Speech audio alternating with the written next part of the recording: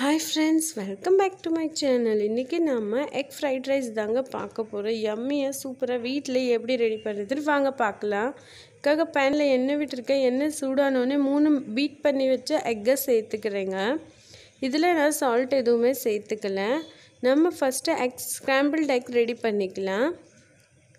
So இந்த மாதிரி நான் டூ டூ மினிட்ஸில் இதை மிக்ஸ் பண்ணி விட்டு நம்ம எக்கை ஃபஸ்ட்டு ரெடி பண்ணி சைடில் வச்சுக்கணும்.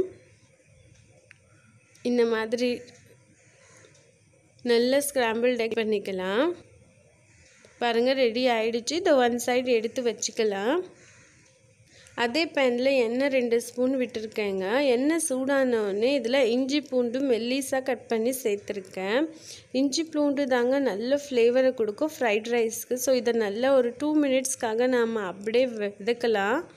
விதக்கிட்டு இது கூடவே நான் பொடிசாக நறுக்குன்னா ஒரு பெரிய வெங்காயத்தை சேர்த்துருக்கேங்க. வெங்காயத்தை ஒரு ஒன் மினிட் லைட்டாக வதக்கிக்கலாம்.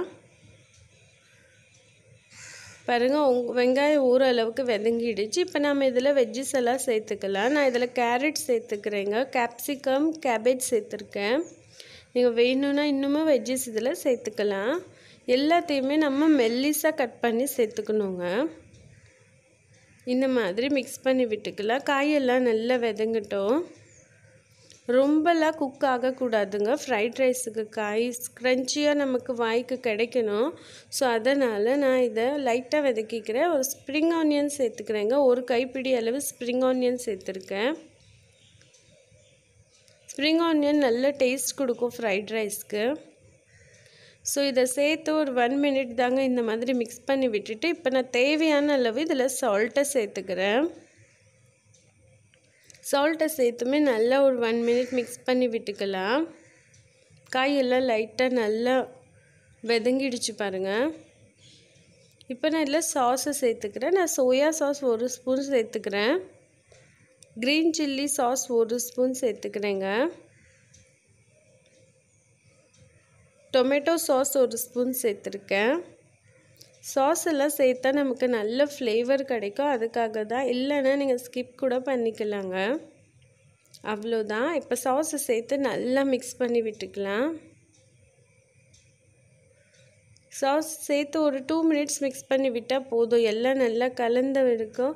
நம்ம இதில் எக் ஸ்க்ராம்பிள்டு இருக்குல்ல அதை சேர்த்துக்கிறோம். எக்கு சேர்த்துமே ஒரு டூ மினிட்ஸ் நல்லா வதக்கிக்கலாம். எல்லாம் நல்லா மிக்ஸ் ஆகட்டும்.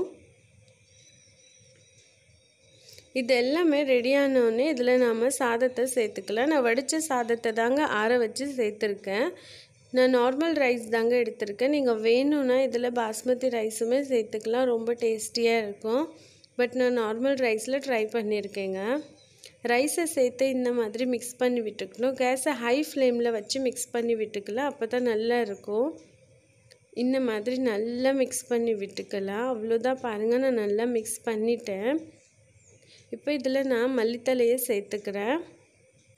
சேர்த்துமே ஒரே வாட்டி மிக்ஸ் பண்ணி விட்டுக்கலாம். ரொம்ப டேஸ்டியாக இருந்துச்சு ஃப்ரெண்ட் இந்த மெத்தடில் நீங்களும் ட்ரை பண்ணி பாருங்கள் ஃப்ரெண்ட்ஸ் எப்படி வந்ததுன்னு எனக்கு கமெண்ட் பண்ணுங்கள் கிட்ஸுக்கெல்லாம் ரொம்பவே பிடிக்கும்னு பிடிச்சமான ஒரு ரெசிபி இது. ஓகே ஃப்ரெண்ட்ஸ் நம்ம சேனலை ஃபஸ்ட் டைம் பார்க்குறதா இருந்தால் ப்ளீஸ் சப்ஸ்கிரைப் பண்ணுங்கள் அப்போ தான் நான் ரெகுலராக போடுற வீடியோஸ் உங்களுக்கு நோட்டிஃபிகேஷனாக வரும். பாய் ஃப்ரெண்ட் தேங்க்யூ ஃபார் வாட்சிங்